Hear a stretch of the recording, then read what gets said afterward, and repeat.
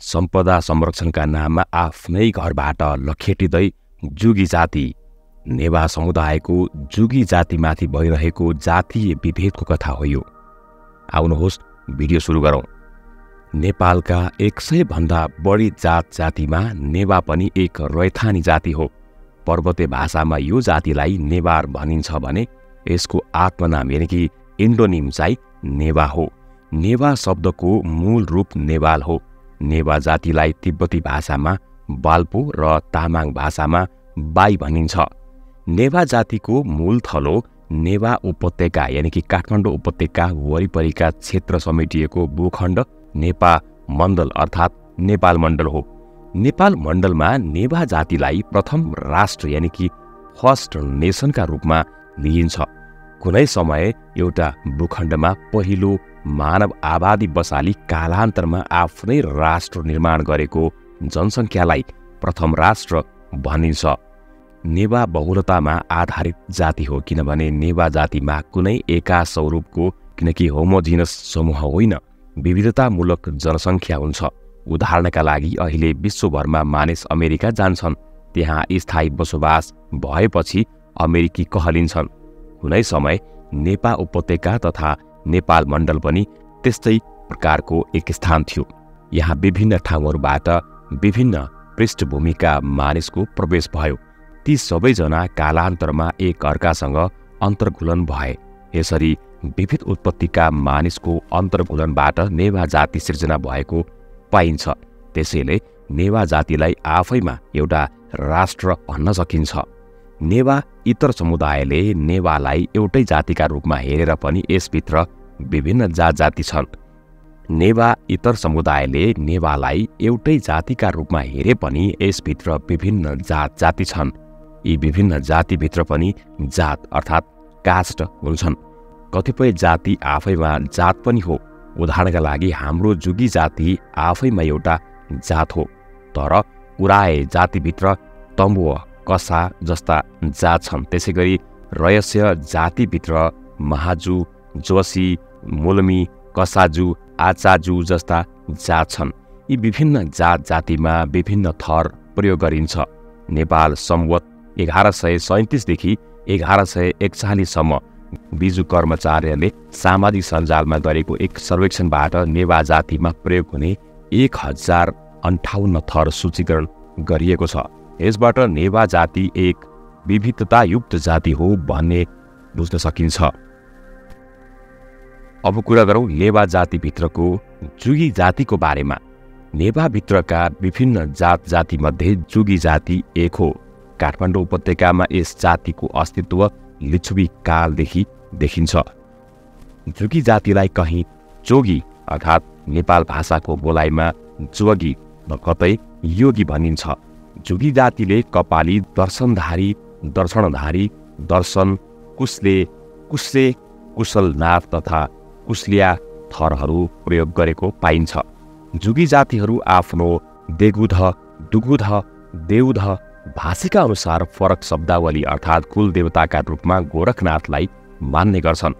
त्यसै गरी बाला सहरे अर्थात् बाला चतुर्थीका दिन प्राय जुगीहरूको दिगु देव पूजा यानि कि कुल देवता पूजा हुन्छ। कतिपय स्थानमा सिथी नखका दिन पनि पर्छ। जुगी जाति आफूलाई नाथ सम्प्रदायको मान्छन्। त्यसैले प्राय पुरुषहरूको मध्य नाममा नाथ उल्लेख हुन्छ। जुगी जातिमा आफ्नै जातको पुरोहित हुन्छ। हामी उनीहरूलाई गबुवाजु भन्छौँ तर यिनीहरू बर्मु अर्थात् ब्राह्मण वा गुभाजु अर्थात् वज्रचार्य नभएर जुगी जातिकै मानिस हुन्। जुगी जातिमा कसैको मृत्यु भएपछि मृत शरीर गाड्ने गरिन्छ। नेवाभित्र मृत शरीर गाड्ने परम्परा भएको जुगी जाति मात्र हो। नेवा समाजको मृत्यु संस्कारसँग जुगी जातिको सम्बन्ध रहेको पाइन्छ। नेवा समाजमा कसैको मृत्यु हुँदा सात दिनपछि मृतकका नाममा भात लगायत खाद्यान्न पैकाल अर्थात् चार्दो बाटो वा दोपा यानि कि दो बाटोको मध्यमा रहेको श्वास भन्ने स्थानमा चढाउने गरिन्छ। यसलाई नहयुनुमा भनिन्छ। जुकी जातिले यो नहैनुमा लाने गर्थे। मृतकको घरमा रहेको चाफुतु यानि कि माटोको कुल हो भत्काएर त्यसका इट्टाहरू पनि त्यही श्वासमा फालिन्छ। त्यसरी भत्काएर फाल्नु अगाडि घरका छोरीहरूले उक्त चुलोमा अन्तिम भात पकाएका हुन्छन् जसलाई पाखा जा भनिन्छ।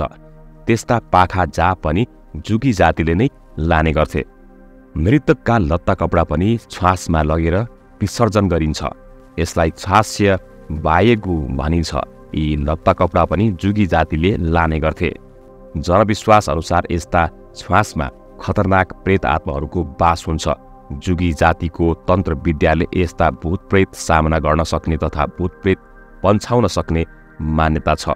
जुगी जातिका महिलाहरू अझी यानि कि सुडेनी तथा झारफुकको काम पनि गर्छन्।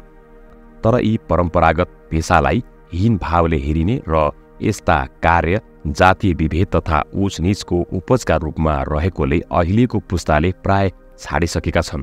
त्यसै गरी सुजीका च्या अर्थात् सिलाइ पनि जुगी जातिको पुरानो पेसामध्ये पर्छ। जुगी जातिको परम्परागत बाजा यानि कि पाजा र मवहाली या मुहाली हो।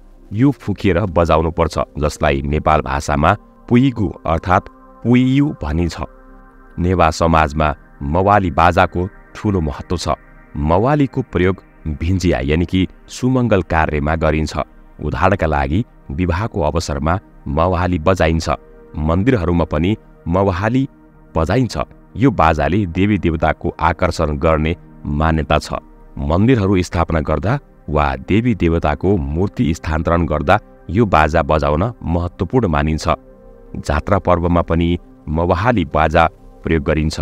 तथापि हाल मवाहाली बाजा बजाउने मानिसहरू कम हुँदै गएका छन्। अब जातीय विभेदमा जुगी कसरी परेको छ भन्ने कुरा पनि यसको यथार्थमा कुरा गरौँ।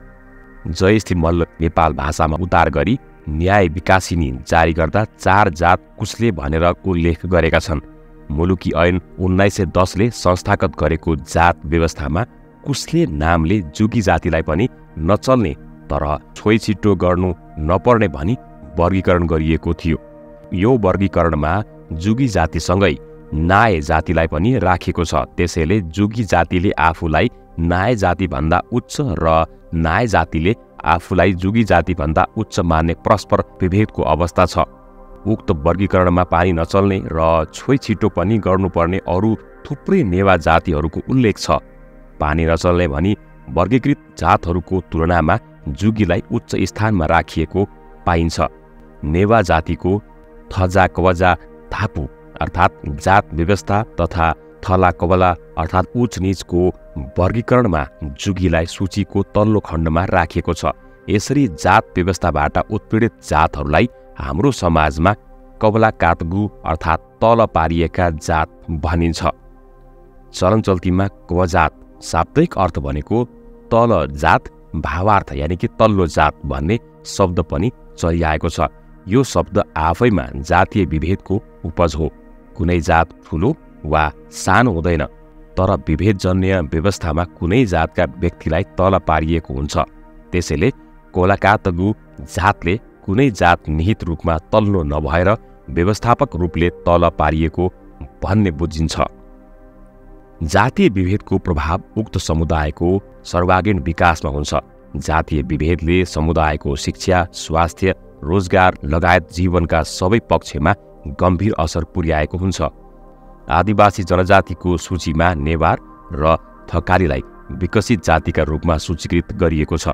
तर अरू आदिवासीभन्दा फरक र एउटै जातिभित्र विविध जाति रहेको तथा जात व्यवस्थाको उच निचको मान्यता समेत भएको नेवा जातिको संयुक्त तथ्याङ्क मात्र हुँदा सबै नेवालाई एकै डालोमा राखिन्छ। राज्यसँग तथ्याङ्क पनि समग्र नेवा जातिको मात्र छ। नेवा जातिभित्रका विभिन्न जातिको विखण्डित तथ्याङ्क राज्यसँग छैन। जातीय विभेदले ग्रसित समाजमा जाति आधारमा विखण्डित तथ्याङ्क नहुँदा कुन जातिको अवस्था कस्तो छ भन्ने प्रष्ट आधार देखिँदैन।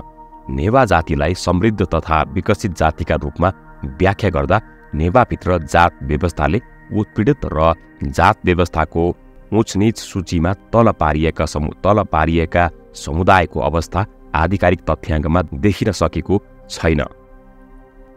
अब नेवा बस्तीको संरचनामा जातको कुरा पनि यहाँनिर गरौँ जस्तै नेवा बस्तीको आफ्नै विशेषता छ यसको स्वरूप पनि अरू बस्तीभन्दा पृथक छ। भौतिक संरचना हेर्ने हो भने सहरको मध्यमा लाएको अर्थात् दरबार हुन्छ या प्रत्येक टोल टोलमा मन्दिर तथा चैत्य हुन्छ। जहाँ चैत्य हुन्छ त्यहाँ मन्दिर पनि हुन्छ र जहाँ मन्दिर हुन्छ त्यहाँ चैत्य पनि हुन्छ। यहाँ तिनतर्फ घरले घेरिएको लाछी पनि छ। चारैतर्फ घरले घेरी घरमुनिको प्रवेशद्वारबाट चोक चोकको जटिल सञ्जाल बनेका बाहा बही ननी चुक लिबी जस्ता पृथक संरचना पनि छन्। फल्चा सत हिती जस्ता संरचना पनि छन्। यिनै विविध संरचनामध्ये सत अर्थात् सत्तल एक हो। सत भन्नाले एक प्रकारको पाठी पौवा जस्तै संरचना हो। यात्रा गरिरहेका मानिसलाई बास बस्न सजिलो होस् भनेर यस्ता संरचना बनाइन्थ्यो। कतिपय मानिसले धर्म कमाउन आफ्नो घरमुनिको तल्लालाई सतका रूपमा छाडेका पनि हुन्थे। यिनै सत यानि कि सत्तल तथा सतछे यानि कि सत्तल घरको इतिहाससँग जुगी जातिको अन्य न्यायश्रित सम्बन्ध रहेको पाइन्छ। नेवा बस्ती विभाजनको जातीय आयाम पनि छ। लागेको क्षेत्रमा राजपरिवारहरू बस्थे। त्यस वरिपरि कथित उच्च जातिका मानिस बस्थे। त्यो घेरा बाहिर ज्यापु जाति र त्यसपछि विभिन्न सेवामूलक पेसा अपनाएका जाति बस्थे। बौद्धमार्गी कुभाजु तथा बरेजु लगायतको बसोबास बहा तथा बही जस्ता स्थानमा देखिन्छ। सहर वरिपरि पर्खालले घेरिएको हुन्थ्यो। कथित तल्लो जातका मानिसलाई पर्खाल बाहिर राखिन्थ्यो। उदाहरणका लागि पबा जातिका मानिसले माछा मार्ने सहर बढार्ने तथा दीप यानि कि मसानघाटको तान्त्रिकका रूपमा काम गर्थे। उनीहरूलाई सहरको बाहिरी भागमा राखिन्थ्यो। च्यामिखल जाति शौचालय व्यवस्थापनको पेसामा संलग्न थिए। शौचालय व्यवस्थापन गर्न सहर बाहिरका खोला नाला तथा खेतबारी प्रयोग गरिने हुनाले उनीहरूलाई पनि बाहिरै राखिन्थ्यो। त्यसै गरी मासु बेचबिखन र पशु बधशालाको काम गर्ने नाय जातिको बास पनि सहरको बाहिरी भागमा हुन्थ्यो। मूलत कथित पानी नचल्ने तथा छोइछिटो गर्नुपर्ने भनिएका जात सहरको बाहिरी भागमा बसालिन्थे।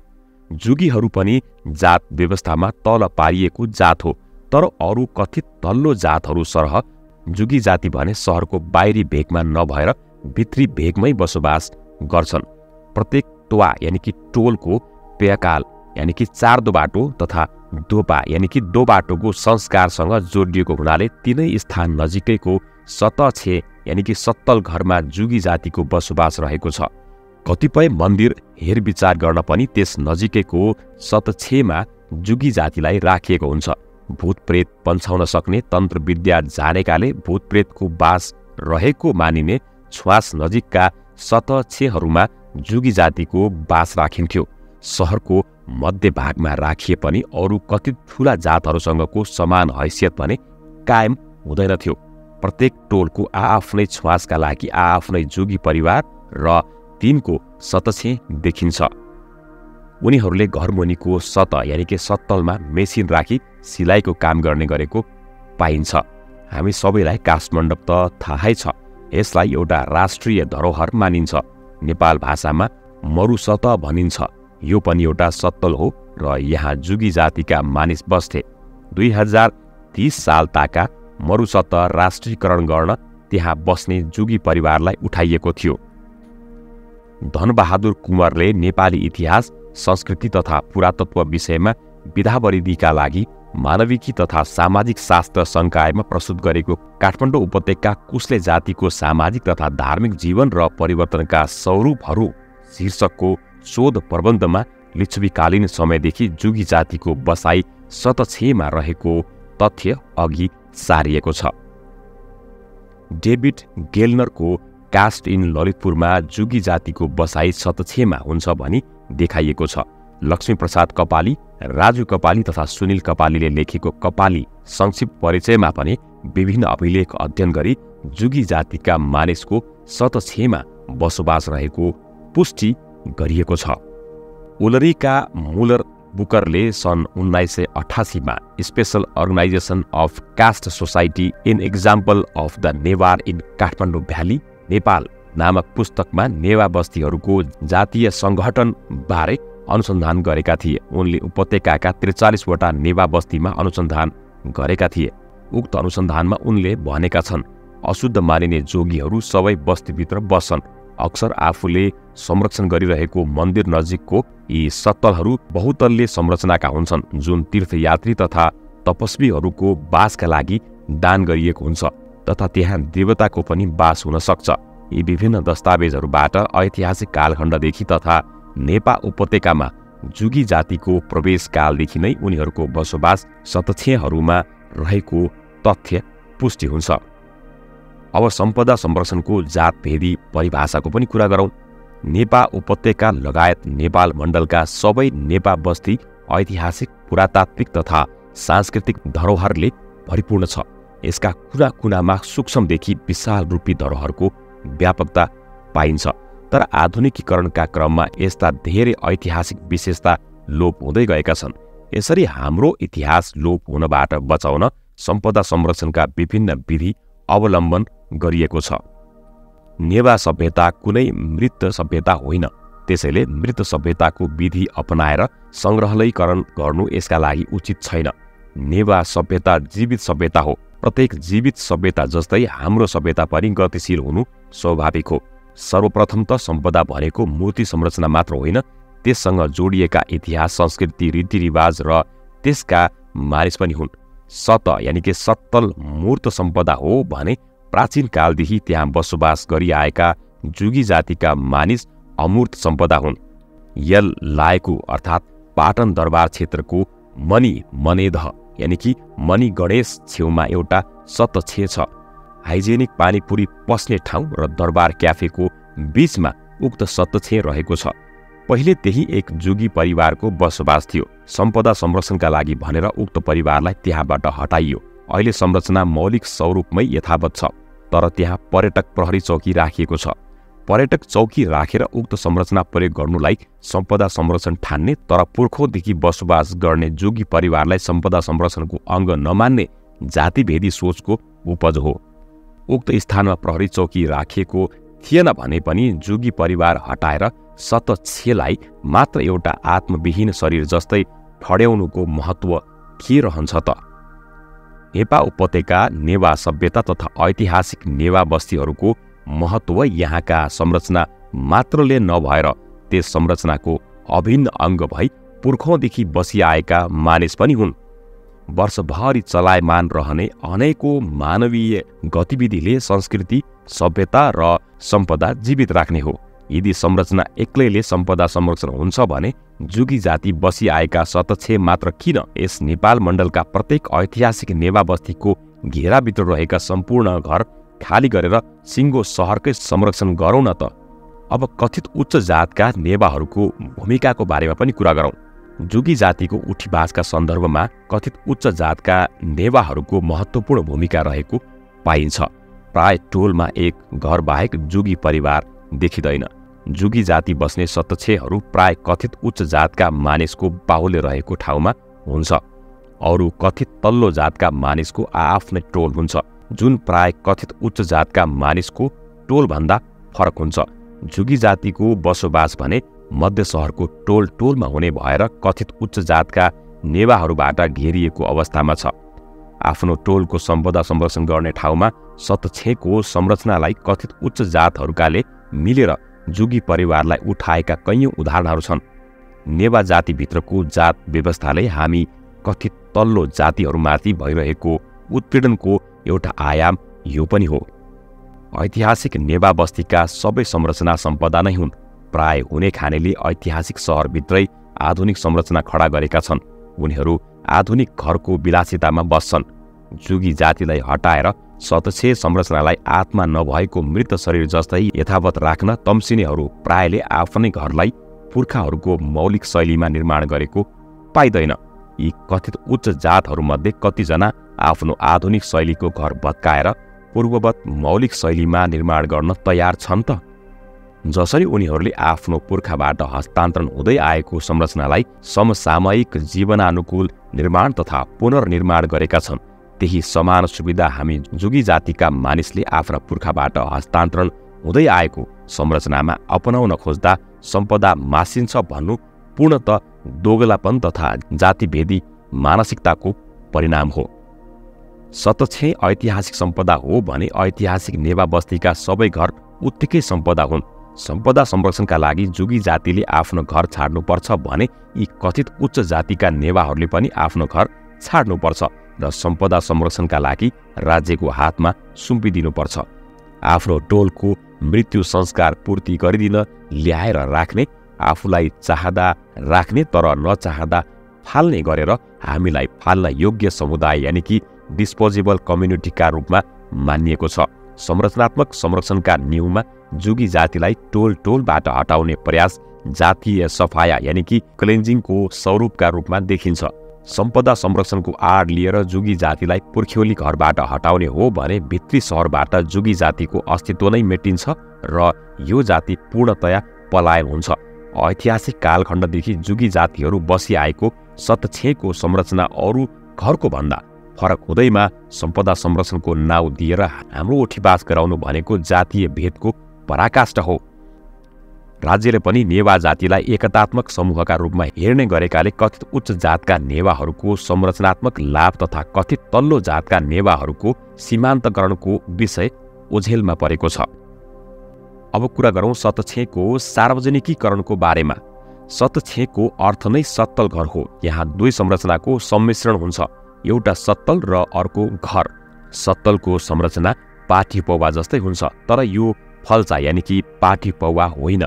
सतक्षे संरचनामा तलपट्टि सत्तल र त्यस सत्तलमाथि घर हुन्छ। सत्तलको परम्परागत प्रायोजन नै सार्वजनिक प्रकृतिको हुन्छ। यात्रुहरूले थकाइ मार्न पाउन् वा ओत लाग्न पाउन् भन्ने हेतुले यसको निर्माण भएको हुन्छ। धर्म कमाउन पनि सत्तल बनाइन्छ। तर सत्तलमाथिको घरको संरचना पूर्णत निजी हुन्छ। अहिले यी सतक्षेहरू प्राय सार्वजनिकीकरण भएका छन्। सतक्षे यानि कि सत्तल घरलाई पार्टी पौवा वा सत्तल भनी कानुनी रूपमा कायम गरिएको तथा सरकारका नाममा दर्ता गरिएको अवस्था छ। यसरी सरकारले आफ्नो नाममा सतक्षेद दर्ता गर्दा जुगी जातिको आवास नै खोसिएको तथा पोर्ख्यौली सम्पत्तिबाट च्युत गरिएको छ। ऐतिहासिक महत्त्वका संरचना सरकारका नाममा दर्ता हुने र सार्वजनिकीकरण हुने हो भने ऐतिहासिक नेवा बस्ती वा सिङ्गो सहर नै सरकारका नाममा दर्ता हुनुपर्ने हो। जुन संरचना कहिले सार्वजनिक थिएन त्यसलाई सम्पदा संरक्षणका नाममा सार्वजनिक कायम गरिरहेको अवस्था छ। यसरी सतक्षेहरू सार्वजनिकीकरण गर्ने नीतिका कारण जुगी जातिका मानिस विस्थापनको शिकार बनेका छन्। आफ्नो पुर्ख्यौली थलोबाट च्युत पारिएका छन् तथा सुकुम्बासी पनि बनाइएका छन्। फरक प्रकृतिको संरचना हुँदैमा सत यानि कि सत्तलाई सार्वजनिक सम्पत्ति मान्ने हो भने ऐतिहासिक नेवा बस्तीका सबै घरलाई सार्वजनिक सम्पत्ति मानेर सरकारका नाउँमा दर्ता गरिनुपर्छ।